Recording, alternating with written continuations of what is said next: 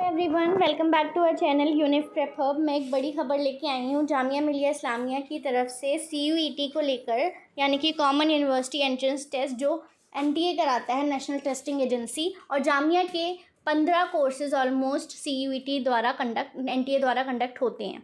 तो जामिया ने अपना पोर्टल दोबारा ओपन करा है सी टी के एप्लीकेशन फॉर्म्स के लिए। इसके लिए आपको सर्च करना होगा J M I dot C U E जो पहला लिंक आएगा, उस पर जाके वेबसाइट ओपन कर लेनी है। पहले तो आप यहाँ पर देखिए, यहाँ पर कोई भी मुझे अभी तक एक्सटेंशन नहीं दिख रहा है for C U E T यहाँ पर बाकी लोगों के लिए एक्सटेंशन है एन आर आई के लिए है सेमेस्टर फॉर्म्स के लिए, लेकिन सी यू ई टी के लिए उन्होंने अपना पोर्टल रीओपन किया है, इसका कोई भी नोटिस एक्सटेंशन यहाँ पर नहीं है।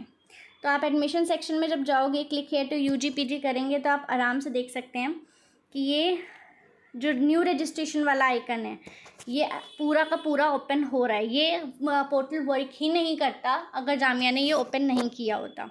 मैं साइन इन करके भी आपको दिखाती हूँ कि कौन कौन से कोर्सेज हैं जो सी टी में वो सारे कोर्सेज यहाँ पे दिखाएगा। देखिए, मैंने इसे लॉगिन कर लिया है। ये माई एप्लीकेशन पे आप जब जाएँगे तो यहाँ पर आपको कोर्स टाइप सेलेक्ट करना होता है। तो वो मैं बैचलर्स कर रही हूँ।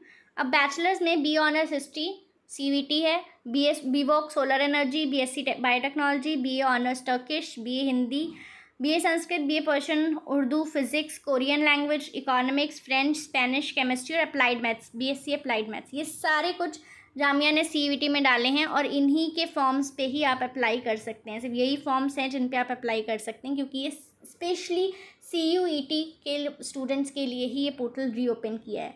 पी मास्टर्स में भी कुछ फॉर्म्स गए हैं जामिया के, वो भी आप देख सकते हैं, लेकिन उसके लिए यहाँ पर कोई भी नहीं दिखा रहा है। पीजी डिप्लोमा के भी कुछ हैं, लेकिन उसके लिए भी यहाँ पे कुछ नहीं दिखा रहा है। सिर्फ़ बैचलर्स के जो भी फॉर्म्स हैं, सिर्फ़ उन्हीं के लिए यहाँ पे ये दिखा रहा है फॉर्म फिल करने के लिए। बाकी आप डिप्लोमा देख सकते हो, आप किसी और में फॉर्म फिल नहीं कर पाओगे। बस आप डिप्लोमा देख सकते हो, यहाँ पर सर्टिफिकेट देख सकते हो, यहाँ पे पीएचडी कोई भी और फॉर्म फिल नहीं कर सकते आप। सिवाय इसके बीटेक बी आग के भी फॉर्म नहीं फिल कर बीटेक बी आग के लिए भी ओपन है। अच्छा बीटेक बी आग दिखा रहा है यहाँ पे। लेट्स सी इसका फॉर्म आएगा यहाँ पर या नहीं।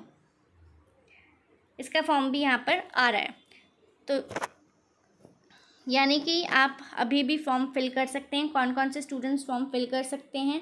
सी यू टी के स्टूडेंट्स जिनका बैचलर्स है और बीटेक बीआर वाले ये फॉर्म फिल कर सकते हैं। तो जल्द ही, तुरंत ही ये फॉर्म्स फिल कर दीजिए। अगर आपने फॉर्म नहीं फिल किया है, क्योंकि अगर आपने जामिया का फॉर्म नहीं फिल किया होगा तो सी में आपके हाईएस्ट स्कोर आने के बाद भी आप जामिया में एडमिशन नहीं ले पाएँगे। जामिया में वही बच्चे एडमिशन ले सकते हैं, जिन्होंने जामिया का फॉर्म फिल किया होगा सी के फॉर्म के साथ। और अगर आपको किसी दोस्त को नहीं पता है तो उसे भी ये बात बता दीजिए, क्योंकि वी डोंट नो कि ये पोर्टल कब तक आपके फॉर्म्स के लिए ओपन रहेगा। क्योंकि बिना नोटिस के लिए के लिए ओपन किया गया है तो शायद ये आज रात ही बंद कर दिया जाए। तो तुरंत without wasting a second just fill your form that was it for the video thank you